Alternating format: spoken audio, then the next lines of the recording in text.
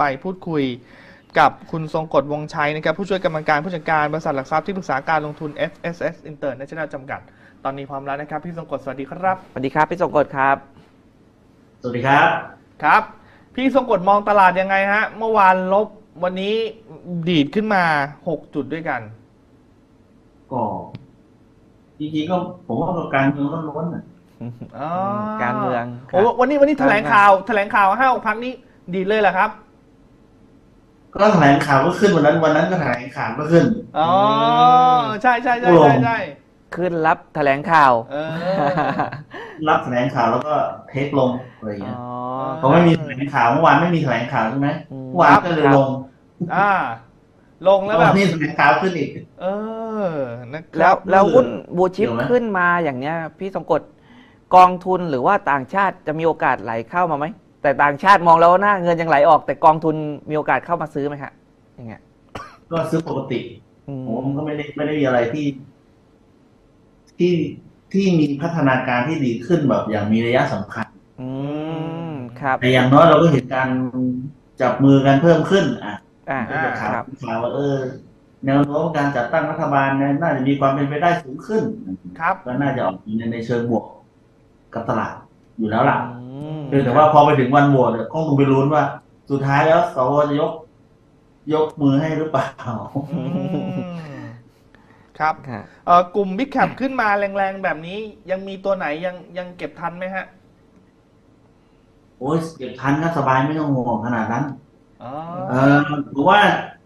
ถ้ามีอันหนึ่งก็กลุ่มโรงพยาบาลอะ ผมว่ายังโอเคอยู่นะครับ โรงพยาบาล ตัวไหนครับโงพี่พยาบาลที่ออก แต่คิดว่าน่าจะออกพรุ่งนี้ว่าเรือนนี้แล้วแหละอืมพรุ่งนี้วันพฤหัสพรุ่งวันศุกร์วันจันทร์วันสุดท้ายครับ อือืมมถ้าไปลุ้นถ้าไปลุ้นงบหน่อยก็โรงพยาบาลใหญ่ๆ อย่างบำรุงราษฎร์อย่าง BDS เนี่ยน่าจะกำไรดีอืมอ่า BH BDMS ถูกไหมครับ ครับ อืมอืมอืมถ้าถ้าเป็นโรงพยาบาลขนาดกลางขนาดเล็กล่ะวันนี้ก็ออกงบออกมาค่อนข้างเยอะระหว่างทางก็มีโรงกลั่นออกมาอย่างท็อป PTGC ท็อปก็กำไรพันล้าน GC นี่ขาดทุนห้าพันห้าร้อยล้านเลยนะครับอืมยังอืมยังไหวไหมฮะก็ GC บาเนี่งยตัวก็ต่ำกว่าคาดเยอะเหมือนกัน คืองบงบคิวเนี่ย ถ้าเป็นกลุ่มพลังงานมันก็ลงกันอยู่แล้วแหละ มันก็ไม่ค่อยดีอย่างงบอะครับอืมครับงบมันก็ไม่ได้เป็นตัวสนับสนุนที่จะทำให้หุ้นมันขึ้น ยกเว้นกลุ่มแบงค์ที่มันออกมาก่อนหน้านี้ที่มันดีกว่าคาดใช่ไหมอืมครับอืมคนก็เล่นไปแล้วระดับ ก็คือคนก็เล่นระดับหนึ่งไปแล้วอะครับอืมครับ อย่างอย่าง GC พี่ต้องกดมองมีความเห็นยังไงฮะ ออกมาขาดทุน5,000ล้าน ก็จริงๆก็เขาคาดการณ์ว่าประมาณสักห้าพันอยู่แล้วอะออกมาห้าพันห้าก็อาจจะต่ำกว่าคาดนิดหน่อยอ่าอ๋อไม่แปลกนะครับ ก็เลยทำให้วันนี้ราคาเขาบวกที่ขาดทุนไม่ได้แปลกนะครับเพราะว่าตามคาดอืม ก็เลยทำให้เป็นที่มาไม่ว่าต้อทำงไมคิวสองเป็นผลแปลงมากแล้วพวกคิวสามเป็นยังไงดีไหม อ๋อ รอดูงบอ่าเวลาคิดต้องคิดแบบนี้ครับอย่าไปคิดว่างบคิวสองมาแย่แล้วมันจะมีมันจะแย่ไปซะหมดทุกอย่างไม่ใช่อืมครับครับต้องมาดูว่า Q3ยังไงครับมองข้ามไปเลยนะครับตัวแล้วครับครับใช่ถ้าอย่างนั้นชัดว่าเอ่อราคาอืมราคา GC ที่ 40 บาทนี่ยังยังน่าสนใจไหมครับ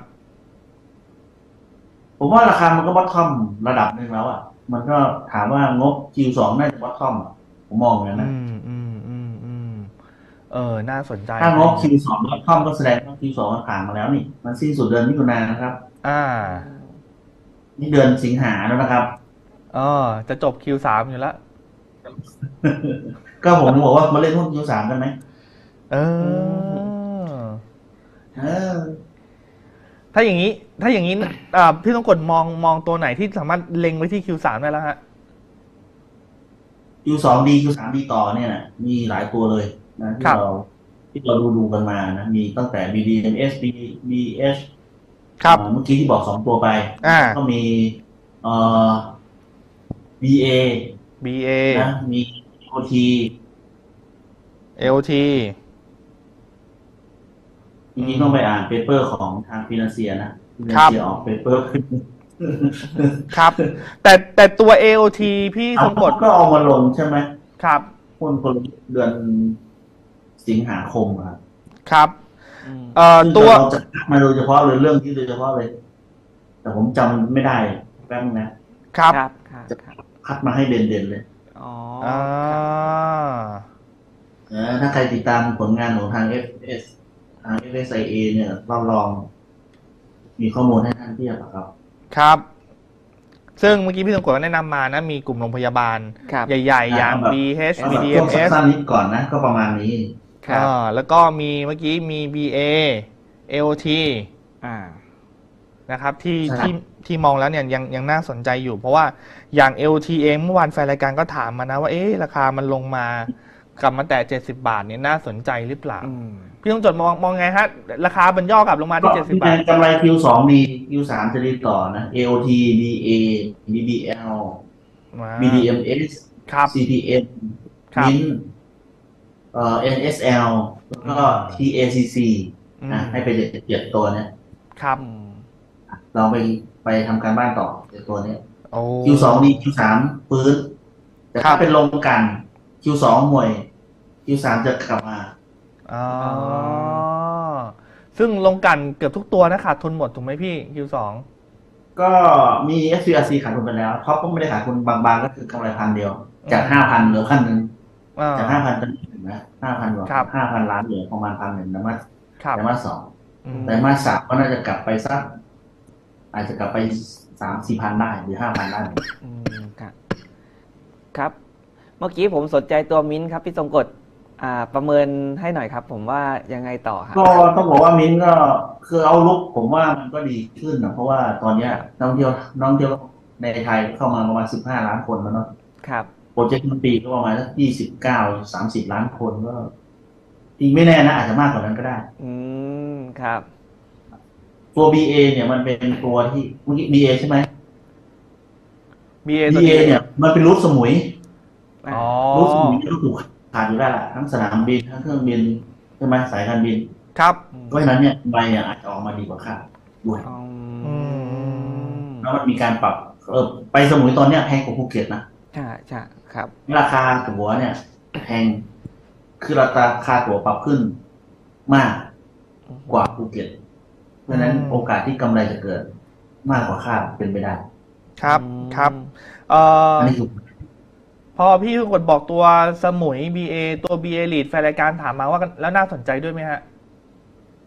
พี่เอลิทเออผมไม่ได้ตามไม่ได้ดูแต่ว่ายิวค่อนข้างดีนะอืม ทำไม่ได้หกเปอร์เซ็นหรือถ้าเกิดหกเจ็ดแปดเปอร์เซ็นต์แต่ยิวมันก็ต้องสูงนะอ๋อเพราะว่าถ้าเกิดเพราะว่าในทรัพย์สินที่เขาเอาเอามาลงทุนก็คือตัวตัวสนามบินที่สมุยเนี่ยใช่ มันก็น่าจะได้ผลตอบแทนตามไปด้วยถูกไหมฮะเออถ้าถ้าบน cash flow ก็จะดู dividend ดูดีขึ้นอืม dividend ก็น่าจะจ่ายได้ดีอืมเพราะว่าถ้ามีเพิ่มขึ้น ครับ แต่อันนั้นเป็นสนามบินนะไม่ใช่เครื่องบิน ครับคครัรับบครับ เอ่เอออ อันนี้เราพูดสายการบินอืมอืมอืมอืมครับผมเอ่อนอกจากตัวเอ่อการบินแล้วในกลุ่มท่องเที่ยวยังมีตัวไหนที่ที่มองว่าน่าน่าจะยังไปต่อได้ไหมฮะโอ้สองตัวนี้ก็เลิศละผมว่าเอออมไม่ไม่ไปไหนแล้วนะสองตัวนี้น่าสนใจสุดแล้วนะเออน่าสนใจสูงแล้วไม่ต้องเอาไปเยอะวันนี้ได้หุ้นเยอะเกินไปแล้วคุณเลือกไม่ถูกอีกให้เยอะก็เลือกไม่ถูกให้น้อยก็น้อยเกินไปอะไรอ่า เนี่ยเอาแบบพอดีพอดีเออสองตัวนี้ก็เพิ่งเด้งนะครับครับใช่สอ่าวยด้วยครับ เมื่อกี้อีกหนึ่งตัวที่พี่สงกลมองมา BBL BBL เนี่ยคือดูเรื่องผลประกอบการในไตรมาสที่สามต่อเลยถูกไหมฮะ ใช่ Q3 เนี่ย BBL ก็ยังโดดเด่นที่สุด คือ BBL เป็นแบงค์ที่ลดเงินฝากอืมอืมการที่ TTB เพิ่งประกาศขึ้นเงินฝากอยู่อ่า เพราะเงินฝากเป็นต้นทุนเขาถูกไหมอ๋อครับ ยิ่งเขาลดเงินฝากแต่เพิ่มเงินกู้อะ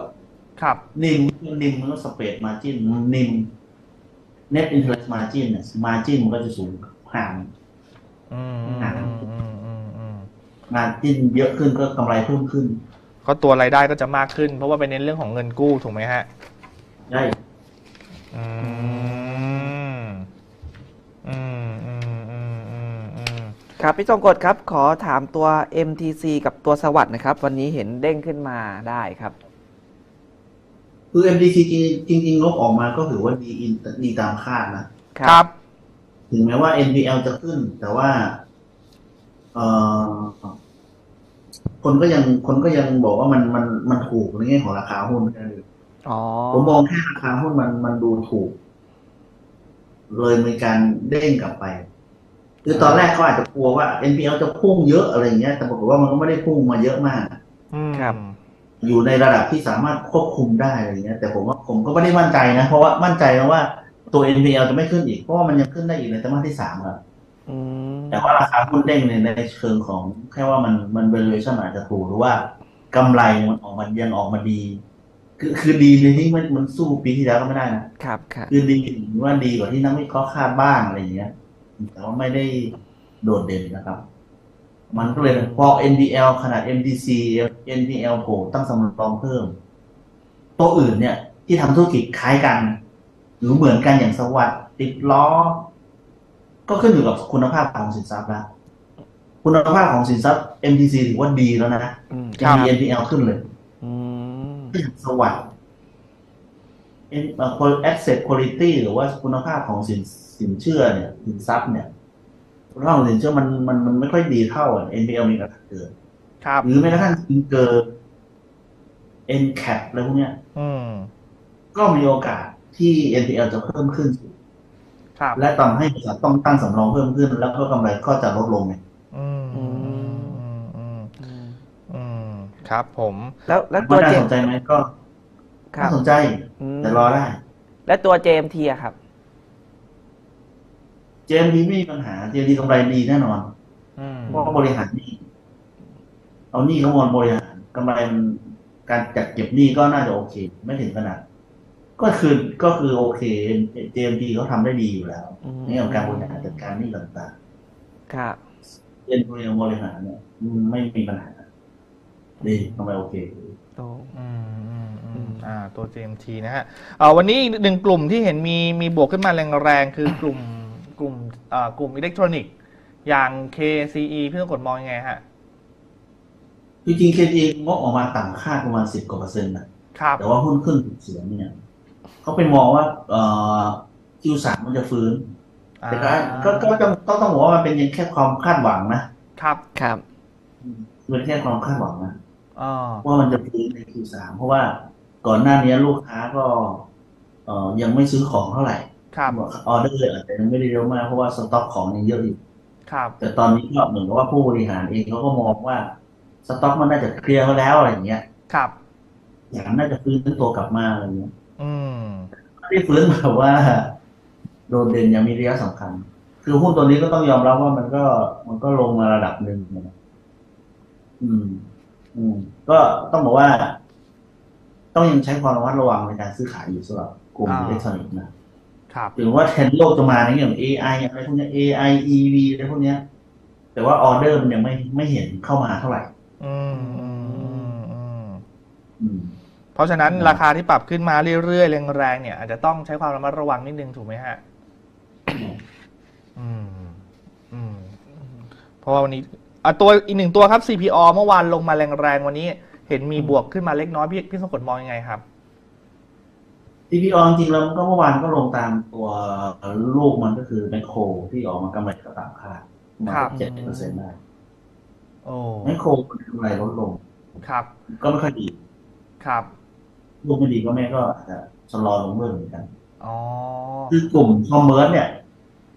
มันฟื้นช้า ครับมันฟื้นช้าก็เลยอาจทำให้คุณอาจจะเห็นเซเว่นอีเลเว่นเยอะแยะไปหมดอ่าก็ยังเปิดกันอยู่ใช่ไหม ครับจริงๆมันก็มีคู่แข่งเข้ามาในตลาดเยอะๆเหมือนกันอืมของครับของกลุ่มคาราบาวเองหรือว่าอ่าอื่น CJ ๆก็เข้ามาบ้าง แต่ว่าตัวที่มันหน่วงของตัว CP CPALL เนี่ยมันคือแมคโคร แล้วแมคโครเนี่ยถูกหน่วงด้วยโลตัสอืมโลตัสยังไม่กลับมาเลยอ๋อกำไรยังไม่ดีครับอืมเลยทำให้ชุดแม่ลงมาหน่อยอ๋อก็อาจจะรอการฟื้นตัวของโลตัสเป็นหลัก ครับครับเราก็เลยเห็นว่าภาพราคาที่มันลงมา 3-4 วันติดของ CPO เนี่ย คือปัจจัยหลักคือเป็นเป็นเพราะบริษัทลูกถูกไหมฮะใช่ใช่เพราะว่าลูกมันก็บอกอยู่แล้วว่ากำไรมันต่ำคาดอะนั้นคนที่คาดทั้งแม่ทั้งลูกพร้อมๆกันเนี่ย ถ้าลูกต่ำคาดแล้วก็แม่ก็ควรจะต่ำคาดไหมอ่าครับคิดแค่นี้เองไม่ได้มีอะไรไม่มี logic อะไรครับ อืมอืมอืมอืมอืม แล้วการซื้แต่ว่าอันนี้มันเป็นแค่ short term นะครับต้องอกว่าครับช็อตเทอมทำให้คนเก่งได้อืมแล้วแล้วการฟื้นตัวช้าของกลุ่มค้าปลีกอย่างนี้ครับผมมีโอกาสที่จะไปกระทบต่อไตรมาสสามนี้อีกไหมครับผมว่าไตรมาสสามก็น่าจะฟื้นมากกว่านะมันคือมันฟื้นขึ้นเรื่อยๆแต่มันฟื้นขึ้นช้า อือืมมค่ะฟื้นช้าครับ เพราะฉะนั้น CPO ราคาที่ลงมาแรงๆ หลุด60บาท อาจจะเป็นจังหวะก็ลก็องได้งบมาก่อนก็ได้ อ๋อลองงบก่อนให้มันชัวร์ๆก่อนว่ามันมันลงมาจริงว่าต่ำกว่าคาดจริงว่าอ่าอ่าอืมอ่รอาาให้มันชัวร์โอโอเคเคครับครับผมอะสุดท้ายนี้ครับพี่ทรงกฎครับเอ่อมองตลาดอีก 2 วันยังไงฮะ ยังจะทรงๆ หรือรอการเมืองชัดเจนกว่านี้อีก แล้วน่าน่าจะเห็นว่าภาพการกลับขึ้นมาอีกรอบหนึ่งฮะ ก็สองวันนี้ก็งบจะออกเต็มที่เลยนะเกือบสองวันสุดท้ายนะครับเกือบไม่ใช่วันสุดท้ายหรอกนะสุดท้ายมันคือวันที่สิบห้าสิบห้าอ่าแต่ก็ก็งบก็น่าจะงบกำไรบริษัททะเบียนเนี่ยงบดูจะไม่ค่อยแข็งแรงเท่าไหร่ มันก็น่าไม่น่าจะทำให้ตลาดหุ้นวิ่งไปไหนได้ไกลยกเว้นประเด็นเรื่องของการเมืองที่เอ่อการจัดตั้งรัฐบาลอาจจะเห็นการจัดตั้งรัฐบาลที่เอ่อมีความเป็นไปได้สูงมากขึ้นอ่านะครับ เขาบอกเขาก็ต้องจบก่อน15เหมือนกันใช่อืมก็ต้องไปรอดูตรงนั้น ซึ่งน่าจะเป็น sentiment ในเชิงบวก ครับ แล้วสมมติเขาประกาศโหวตอ่าตัวนายกวันนี้อีกเออซึ่งก็คงต้องรอ16มั้ง16ก็ต้องรอสารรัฐธรรมนูญอีกมันก็กลายเป็นประเด็นที่ตลาดน่าจะเป็นลักษณะของการไซด์เวย์ก็ยังไม่ไปไหนครับอ๋อหรือว่าถ้าเลื่อนโหวตไปอีกหรือว่าสารรัฐธรรมนูญเลื่อนไปอีกโอ้ผมว่ามันก็ยิ่งยืดเยื้อยิ่งจะทำให้ตลาดหุ้นไม่ตอบสนองในเชิงบวก ครับรวมลงแบบเนี้ยเดี๋ยวขึ้นเดี๋ยวลงเดี๋ยวขึ้นเดี๋ยวลงเนี่ยไซด์เวย์อ่า